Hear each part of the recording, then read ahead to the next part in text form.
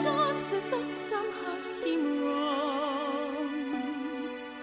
In my life, there are times when I catch in the silence the sigh of a faraway song, and it sings of a world that I long to see out of reach.